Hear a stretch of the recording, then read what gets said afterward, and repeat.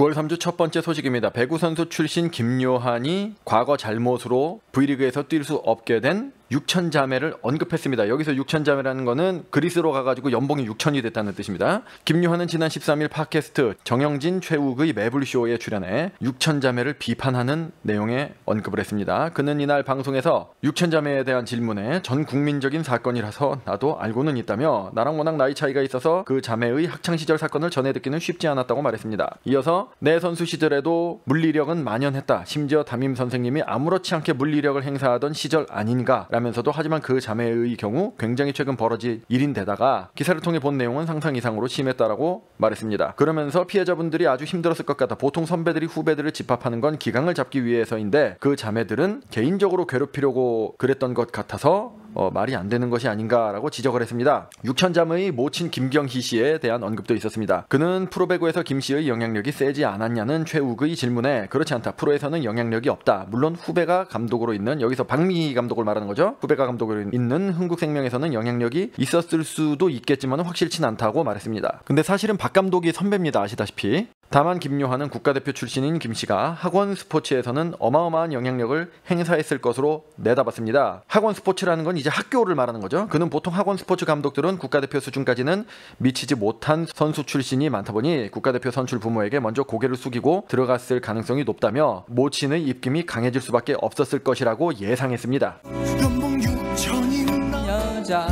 한편 6천 자매는 PAOK 입단 및 2122 그리스 리그 참가 자격 획득을 위해 여자 배구 세계 최고 무대 터키에서 경험을 쌓은 법조인의 도움을 받는다는 소식입니다. 터키 스포츠 에이전시 CAAN은 10일 오르한 킬리츠 칸을 내세워 6천 자매 관련 유권 해석을 FIVB에 요청하기 위한 법률적인 준비를 시작했습니다. 대한배구협회가 6천 자매에 대한 국제적 동의서를 발급하지 않자 대응에 나선 것이죠. 오르한은 2004년부터 변호사로서 배구 분쟁에 관여해 왔습니다. 터키 배구협회가 2013년 5월 내린 징계에 대해 FIVB 터키 정부에 이의를 제기하고 터키 지방법원에 민사소송을 제기한 끝에 2016년 4월 터키 청소년 체육부 중재안을 끌어내면서 국제적인 능력을 인정받은 바도 있습니다. 한국과의 인연은 이번이 두 번째입니다. 오르한은 다우디 오켈로 선수가 2019년 터키의 스포르토토와의 계약을 합법적으로 해지할 수 있도록 도와줘 V리그 남자부 천안 현대 캐피탈 스카이워커스에 입단하는데 큰 힘이 됐습니다. Dr. Quacks in the Volleyball Magazine. 예, 다음 소식은 최근 1, 2주 동안 배구계에 새로운 소식이 별로 없다 보니 조금 뒤늦은 감이 있는 뒷북 소식입니다. 몽골에서 온 장신 유망주 목포 여상 어르헝이 최근 입양 절차가 마무리되면서 한국에서 프로배구 선수로 뛸 수 있는 꿈에 가까워졌습니다. 어르헝이 꿈을 이루기까지 국가대표 세터 염혜선의 아버지인 염경열 씨가 적극적으로 도왔습니다. 현재 어르헝을 지도하고 있는 목포 여상 정진 감독은 지난 2일 더 스파이크와 전화 통화에서 현재 어르헝이 염경열 씨 호적에 등록이 됐다라고 밝혔습니다.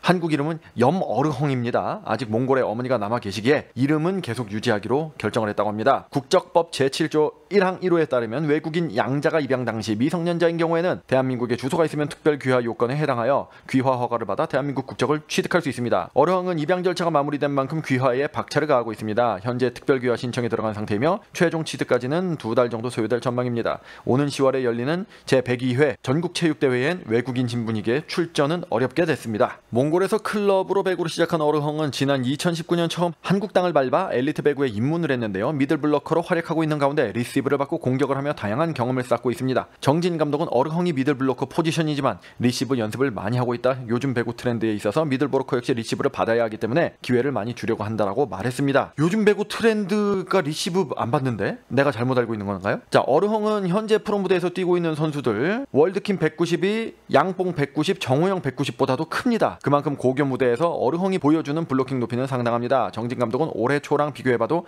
기량이 많이 늘었다. 큰 신장에 비해 순간 스피드나 반응 속도로 보면 비슷한 신체 조건을 가지고 있는 선수들과 비교해봐도 가장 나았다고 생각한다. 근력은 아직 부족한 상황이지만 더 붙게 된다면 가능성이 더 커질 것이라고 긍정적으로 평가했습니다. 자, 요런 비슷한 케이스가 아마 많이 있었을 거예요, 그동안. 근데 제가 알고 있는 케이스는 한 케이스가 있는데 이영이라는 96년생 선수가 있거든요. 그 선수가 강릉여고 출신이기 때문에 강릉에 살고 있었을 때 관심이 있어서 많이 봤는데 어, 귀화를 했어요. 그, 아 조선족이었을 거예요 아마 중국이 국적인데 그래가지고 강릉여고 그 감독님의 양녀로 이제 들어갔거든요. 그 국적을 취득해서 프로에 입문을 했죠. 예, 근데 큰 빛을 보진 못했어. 그래가지고 약간 찾아보니까 지지난 시즌에 은퇴를 했더라고요. 은퇴를 해가지고 무슨 초등학교 쪽에 배구 코치를 하면서 쇼핑몰을 운영한대. 그게 왜 그렇게 됐느냐? 자 그분도 외국인이지만 어, 실력 실력이 출중했기 때문에 그 한국에서 귀화를 해가지고 프로로 드래프트까지 된 거 아닙니까? 키가 작아요. 보니까 이제 180cm야. 배구는 키, 내가 항상 말하잖아. 농구는 심장, 배구는 신장. 키가 좀 안 됐던 거죠. 자, 한국 배구계가 경쟁이 좀 치열합니까? 그러려면 이제 어느 정도 신장이 좀 있어야 된다. 아니면 뭐 기량이 진짜 출중하든가 그렇게 해야 되는데 근데 어쨌거나 염어르헝은 한국 여자 배구 역사상 가장 키가 컸던 월드킴보다도 3cm가 크니까 얼마나 바람직합니까? 그 한국 배구의 미래가 이 염 어르홍이라고 저는 보거든요. 어, 이 사람을 키워야 된다. 지금은 실력이 모, 모자라겠죠. 그렇지만 집중적으로 키워야 된다. 염 어르홍을.